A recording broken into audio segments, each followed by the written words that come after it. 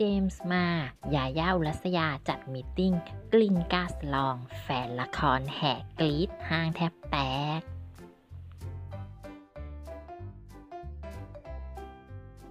เจมส์มา ร์ ญาญ่าอุรัสยานำทีมนักแสดงกลิ่นกาสะลองจัดงานมีตติ้ง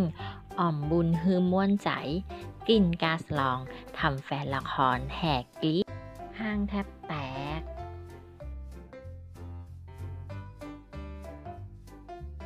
กระแสยังแรงอย่างต่อเนื่องเลยจริง ๆสำหรับละครเรื่องกลิ่นกาสลองทางช่อง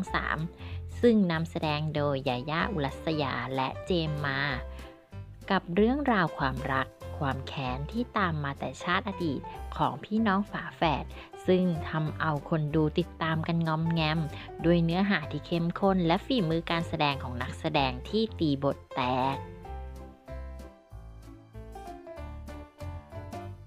ล่าสุดวันที่ 9 กรกฎาคมทางช่อง 3 ก็ได้คืนกำไรให้กับแฟนๆ โดยการขนทัพนักแสดงนำทั้งหมด 5 คน เหล่านักแสดงนำยาย่าอุรัสยา เจมมา ป๊อบถากูล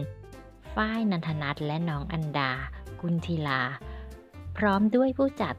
แหม่มทิติมา มาจัดการมิทติ้งกลางส่วนการค้า Spell and Future Park กับงานออมบุญฮื้อม้วนใจกลิ่นกาสลอง ซึ่งก็มีแฟนๆละครตามมากรี๊ดกันแบบฟินสนั่นแน่นไปทุกตารางนิ้ว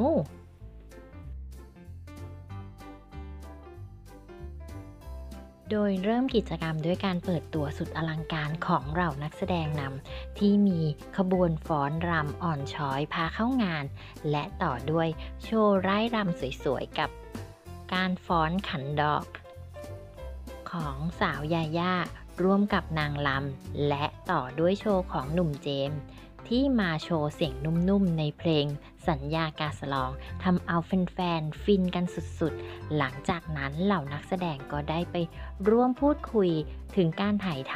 ำทำให้แฟนๆ ได้ติดตามอย่างเป็นกันเอง พร้อมบอกว่าห้ามพลาดตอนที่เหลือ เพราะมันเข้มข้นกว่าเดิมแน่นอน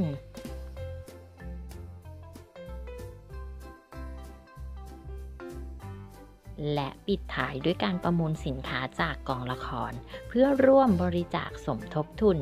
กองทุนภูมิคุ้มกันบำบัดมะเร็ง โรงพยาบาลจุฬาลงกรณ์